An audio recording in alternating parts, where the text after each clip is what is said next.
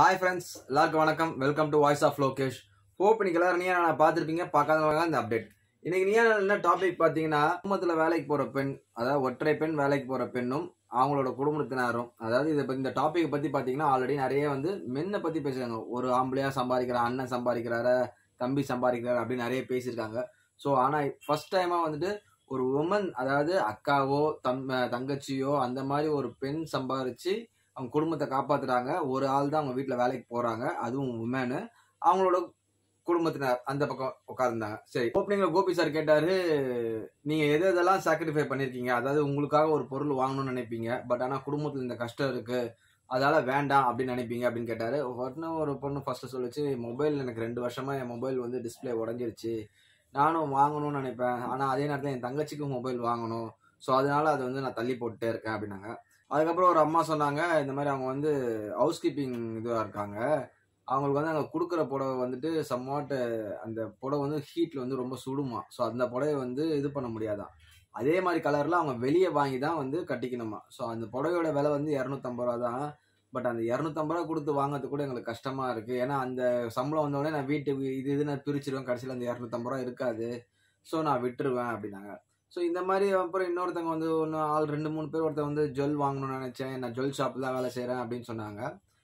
இன்னொரு பொண்ணு ஒன்று சொல்லுச்சு. வெறும் இருபத்தி ஒரு வயசு பொண்ணு. அந்த பொண்ணு பேசும் போதே வந்துட்டு ரொம்பவே ஒரு மாதிரி ஆயிடுச்சு. என்ன அப்படின்னு பார்த்தீங்கன்னா அந்த பொண்ணு சொன்ன வார்த்தை இருபத்தி ஒரு வயசு ஆகுது அந்த பொண்ணுக்கு. காலேஜ் படிக்குது. அது ஒரு வேலையும் வேலையும் போகுது. அந்த வேலைக்கு தேவை முக்கியமான ஹெட்ஃபோனு இது வரைக்குமே அஞ்சு வருஷமா என்ன வேலைக்கு போயிட்டு இருக்கு போல இருக்கு. அந்த பொண்ணு அஞ்சு வருஷமும் மூணு வருஷமோ தெரியல. ஒரு முப்பது ரூபா ஹெட்செட் பார்க்குமா? வாங்கலாம் அப்படின்னு சொல்லிட்டு. ஆனால் வாங்காதான் ஆனால் அதுக்கு பதிலாக அவங்க தங்கச்சிக்கோ தம்பிக்கோ ஏதோ வாங்கிட்டு போயிடுமா? ஒரு பத்து ரூபா செலவு பண்ணணும்னு நினச்சா கூட யோசிக்குமா? பண்ணாதான் காலையில் டிஃபனே வந்துட்டு ஈவினிங் நாலு மணிக்கு தான் சாப்பிடுமா? அதே மாதிரி அவங்க அப்பா வந்துட்டு பத்து ரூபா கேட்பாருன்னு சொல்லிட்டு அந்த பத்து ரூபா செலவு பண்ண கூட பண்ணாதான் அப்பா நைட்டு கேட்பாரு பத்து ரூபா தேவை பத்து ரூபா இருக்காமான்னு கேட்பாரு அப்படின்னு சொல்லுவாராம். அதுக்காக அந்த பத்து ரூபா செலவு பண்ணாதான். இவ்வளோலாம் அந்த பொண்ணு சாக்ரிஃபை பண்ணி மா காலையில் டிஃபன்ஸ் கிடையாது. பதினோரு மணிக்கு இன்னும் ஸ்நாக்ஸ் மாதிரி சாப்பிடுமா? அதுக்கப்புறம் நாலு மணிக்கு தான் டிஃபன் அந்த மாதிரி சாப்பிடுமா? ஸோ அந்த மாதிரிலாம் சாக்ரிஃபை பண்ணி குடும்பத்தை காப்பாற்றுற ஒரு பெண் இருக்குன்னா ஐயோ சாமி நம்மலாம் நான் நினச்சேன் நான் நிறைய விஷயம் நினைச்சேன் நம்ம இது பண்ணுறோம் அது பண்ணுறோம் வீட்டுக்கு அப்படின்னு நினைக்கிறேன். இந்த பொண்ணுலாம் நினச்சா நம்மலாம் கால் தூசி கூட இல்லைன்ற மாதிரி இருக்குது அந்த பொண்ணு அதே மாதிரி அழுதுடுச்சு. அவங்க சொல்லுவாங்களாம் வீட்டில் வந்துட்டு என்ன பண்ணுவாங்களா இந்த பொண்ணு எதாவது சொல்லும் போது ஆமாம் மற்றவங்க செய்த பெருசாக நீ செஞ்சிட்டியா அப்படின்ற மாதிரி ஒரு வார்த்தை சொல்லுவாங்களாம். அந்த வார்த்தை சொல்லும் போது தான் சார் எனக்கு வலிக்கும் அப்படின்னு சொல்லி அந்த பொண்ணு சொல்லிச்சு. அவங்க அம்மா சொன்னாங்க இல்லை சார் அவள் வந்து ரொம்ப கோவப்படுவா. இந்த வார்த்தையை சொல்லிட்டா டக்குன்னு கம் க- கம்முன்னு இருந்துருவா. ஸோ அதனால தான் இந்த வார்த்தையை சொன்னோம் நாங்கள் அப்படின்னு சொல்லிட்டு அவங்க அம்மா சொன்னாங்க. ரொம்பவே ஆச்சரியமாக இருந்தது அந்த பொண்ணை பார்க்குறதுக்கு. அதுக்கப்புறம் இன்னொரு பொண்ணு அந்த பொண்ணும் அதே மாதிரி தான் அவங்க தம்பி இறந்துட்டாப்புலையா இந்த பொண்ணு தான் வேலைக்கு போகுது. அவங்க சித்தி வந்து சொல்கிறாங்க இந்த மாதிரி பாதி சம்பளத்தை அப்பா கிட்ட கூட மீதி வந்து நீ உனக்குன்னு நகை இதை வாங்கி வச்சுக்கோ. ஏன்னா உனக்கு அப்புறமா தங்கச்சி ஒன்று இருக்குது நீ எதனா ஒன்று பண்ணிக்கணும் அப்படின்னு சொல்கிறாங்களாம் பட் இல்லை அப்படின்னு சொல்லிட்டு அந்த பொண்ணு வந்து எல்லா சம்பளத்தையும் அவங்க அப்பா கிட்ட கொடுத்து வந்தாங்க. சரி அப்படியே கொஞ்சம் காசு சேர்த்து வச்சிருந்தேன். அதில் வந்து இந்த பொண்ணுக்கு நகை வாங்கலாம்னு நினச்சிதான். அது வாங்கலையா? அவங்க அப்பாவுக்கு ஒரு பிரேஸ்லெட் வாங்கி போட்டு அழகு பார்த்துச்சான் அவங்க சித்தி சொல்கிறாங்க அவங்க அப்பாவுக்கு அழகு பார்க்குறா அவங்க வீட்டுக்கு அழகு பார்க்குறா அந்த பொண்ணை பார்த்துக்கவே மாட்றா. அப்போ கோபி சார் கேட்டார் சொன்னார் இந்த மாதிரி உங்கள் தம்பி இருந்தால் என்ன பண்ணியிருப்பான் அப்படின்னா தெரியுமா உங்களுக்கு? உங்களுக்கு நகையும் சேர்த்துருப்பான். இப்போ உங்கள் தம்பி இடத்துல யார் இருக்கான்னா அந்த பொண்ணு வந்து அப்பா இருக்காரு. அப்பா இல்லை நீங்கள் தான் உங்கள் தம்பி இடத்துல இருந்து சம்பாதிக்கிறீங்க இப்போ. ஸோ அப்போ நீங்கள் தான் உங்களுக்கு வந்து சேர்த்துக்கணும் அப்படின்னு சொல்லி சொன்னார். உண்மை உண்மையிலேயே இந்த நிகழ்ச்சி பார்க்கும்போது எனக்கு ரொம்பவே ஆச்சரியமாக இருந்தது என்னென்னா யாருமே ஒரு- ரெண்டு மூணு பேர் தான் வந்து கொஞ்சம் பெரியவங்களாக இருந்தாங்க. எல்லாருமே பார்த்தீங்கன்னா பிலோ டுவெண்ட்டி ஃபைவ்ல தான் இருந்தாங்க. இருபத்தஞ்சி வயசுக்குள்ளே இருபத்தி ஒன்று இருபத்தி ரெண்டுலாம் சொன்னாங்க. இவ்வளோ ஒரு ஆச்சரியமா? அப்படி எனக்கு ரொம்பவே ஆச்சரியமாயிடுச்சு. இப்படி ஒரு உமன்ஸ்லாம் இருக்காங்களா அப்படின்றது. அதுக்கு கேட்டாங்க கோபி சார் வந்து சரி இவங்க வேலைக்கு போகிறாங்க இது பண்ணுறாங்க வீட்டில் உங்களை வந்து என்ன அதிகாரம் பண்ணுவாங்க அப்படின்னு கேட்டாங்க. அதுக்கு ஒருத்தர் சொன்னாங்க இல்லை வீட்டுக்குள்ளே வரும்போதே தாம் தூம் தேன் குதிப்பா இதை தூக்கி போடுவா தூக்கி போடுவா. அப்படின்னாங்க. இல்லை எனக்கு வந்து வீடு க்ளீனாக இருக்கணும் சார் எனக்கு க்ளீனாக இருந்தாலுமே என்ன சொல்லுவாங்க துணி மடிச்சது இது சரியில்லை அது சரியில்லைன்னுவாங்க அப்படின்னாங்க. ஸோ வேலைக்கு போயிட்டு வரவங்க அங்கே ஆயிரத்தி எட்டு பிரச்சனை இருக்குங்க. வேலையில் இருக்கிறவங்களுக்கு மட்டும்தான் தெரியும் அங்கே என்னென்ன பிரச்சனை நடக்குதுன்றது. ஸோ வீட்டுக்கு வந்து அவங்க கொஞ்சம் அப்படி இப்படி தான் இருப்பாங்க. அதெல்லாம் நம்ம அட்ஜஸ்ட் பண்ணி போனோம் இல்லையா? அதுக்கடுத்து பார்த்தீங்கன்னா கேட்டாங்க ரொம்ப நாளாக உங்கள் தொண்டை கோழிக்குள்ள ஒரு கேள்வி இந்த கேள்வி கேட்டே ஆகணும் அப்படின்னு இருக்கும். ஆனால் நீங்கள் இது வரைக்கும் கேட்டிருக்க மாட்டீங்க. அப்படி என்ன கேள்வி அப்படின்னு கேட்டாங்க.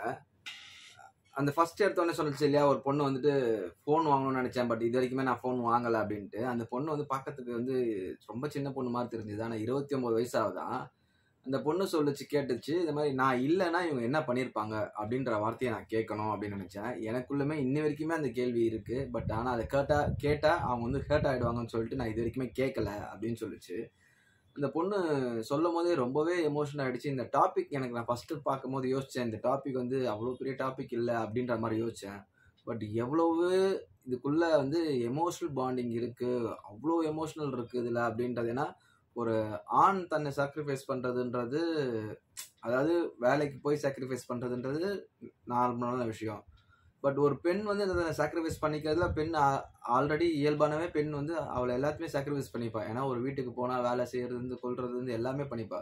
பட் வீட்டோட வேலை வீட் வெளியே வேலை செஞ்சு வீட்டோட மொத்த சுமையுமே அவள் பார்க்குறான்றது வந்துட்டு அவளுக்குள்ள எவ்வளோ ஆசைகள் இருக்கும் எவ்வளோ கனவுகள் இருக்கும் அப்படின்றத வந்துட்டு இந்த நிகழ்ச்சி பார்த்ததுக்கு அப்புறம் தான் எனக்கே தெரிஞ்சது. ஸோ அந்த பொண்ணு வந்து சொல்லுச்சு அந்த பொண்ணு ஃபர்ஸ்ட் அவங்க தங்கச்சி கல்யாணம் பண்ணிட்டு தான் இவங்களுக்கு பண்ணுச்சான் அதுக்கப்புறம் வந்து எப்போவுமே வந்து அந்த தங்கச்சிக்கு மாப்பிள்ளை பார்க்கும்போது அந்த பொண்ணு தான் மாப்பிள்ளை பார்த்து தான் பட் இந்த பொண்ணு தான் வந்துட்டு அவங்க அப்பா இடத்துல இருந்து பேசி தன்னை வந்துட்டு தன் தங்கச்சி ஒரு இதுவாக போல்டாக பேசி கல்யாணம் பண்ணிச்சான் ஸோ இந்த பொண்ணுக்குமே இந்த பொண்ணு தான் மாப்பிள்ளை பார்த்து பேசிச்சான் அவங்ககிட்ட அக்ரிமெண்ட் என்ன அப்படின்னு பார்த்தீங்கன்னா இப்போவும் எங்கள் வீட்டுக்கு வந்து நான் எல்லாமே செய்வேன். வேலைக்கு போயிட்டு வந்து எல்லாமே செய்வேன் அப்படின்ற மாதிரி சொல்லிச்சான் ஸோ அவங்க வீட்டில் அக்செப்ட் பண்ணிக்கிட்டாங்களா? அந்த பொண்ணு வந்துட்டு ரொம்பவே ஒரு எமோஷனலாக பேசி கடைசியில் கோபிநாத் சார் சொன்னார் அந்த அவங்களோட மாமியார் தான் எதிர்க்க வந்திருக்கிறது. இந்த பொண்ணு பேர் என்ன சொல்லி பேர் என்ன ஒரு பேர் சொன்னாங்க. ஷபீனாவோ என்ன சொன்னாங்கன்னு நினைக்கிறேன். மா தங்கம்மா இதை விட்டுறாதீங்கம்மா. அந்த பொண்ணுக்கு நான் சொல்லிட்டேன் சார் நீ என்ன வேணுமோ உங்கள் வீட்டை பார்த்துக்கோ. நீ எனக்கு பொண்ணாயிரு அப்படின்னு சொல்லிட்டு அப்படின்னாங்க. ரொம்பவே எமோஷ்னலாக இருந்தது அதுக்கப்புறம் இன்னொரு பொண்ணு அந்த பொண்ணு சொன்னலையா ஃபஸ்ட் எடுத்தோடனே இந்த காலேஜ் போயிட்டு டுவெண்ட்டி ஒன் இயர்ஸ் ஆகுது அந்த பொண்ணு. அந்த பொண்ணு சொன்ன விஷயம் பார்த்தீங்கன்னா அது ரொம்பவே வந்து பாவமாக இருந்தது. எல்லாமே இந்த பொண்ணு சம்பாதிக்குது எல்லாம் செய்யுது எல்லாம் ஓகே அதெல்லாம் ரைட்டு பட் கடன்காரனுக்கு பதில் சொல்லணும்னா கூட இந்த பொண்ணை எடுத்து போய் முதல்ல நிறுத்தி வைப்பாங்களா அவங்க அம்மா. ஸோ ஏன் அந்த மாதிரி செய்கிறாங்க அவங்க அப்படின்றது புரியல. அதுக்கடுத்து பார்த்தீங்கன்னா இன்னொருத்தங்க ப்ரொஃபஸர் அவங்க முப்பத்தெட்டு வயசாகுதான் ஆல்ரெடி ரெண்டு தங்கச்சி ஒரு தம்பி கல்யாணம் பண்ணிட்டாங்களாம். கூட கூட்டிகிட்டு இருந்தது இன்னொரு தம்பி.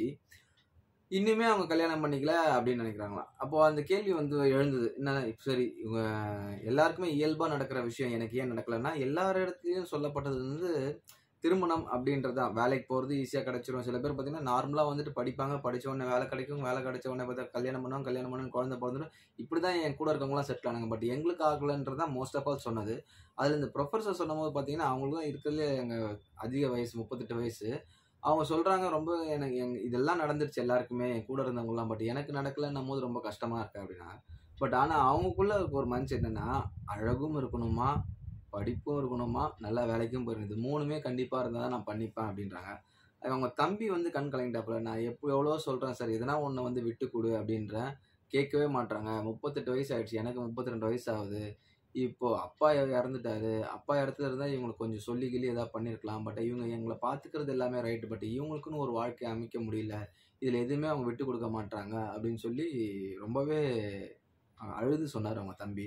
ஸோ அந் முப்பத்தெட்டு வயசு ஆகிடுச்சு ஸோ அவங்க இதுக்கப்புறமும் அவங்க அந்த விடாப்பிடியாக இருக்கிறது வந்துட்டு நல்லதில்லை அப்படின்னு சொல்லி இதெல்லாம் ஒன்று விட்டு கொடுத்து ஒரு கல்யாணம் பண்ணி. நாளைக்கு ஏன்னா இவங்க சம்பாரிச்சு போடுவாங்க எல்லாமே ரைட்டு பட் இவங்களுக்குன்னு ஏஜ் ஆகும்போது யாரோ ஒருத்தர் பார்த்துட்டு இருக்கணும் இல்லையா? இந்த வயசில் இவங்க எல்லாரையும் பார்த்துக்கிறாங்க இவங்களுக்கு வயசாகும் போது ஒரு வாழ்க்கை துணை கண்டிப்பாக தேவை இல்லையா எவ்வளோ நாள் அவங்க தம்பி இருக்க போகிறா அவங்க தம்பிக்கும் கல்யாணம் ஆகிடுச்சு அப்படின்னா இவங்களுக்கு யார் இருப்பா?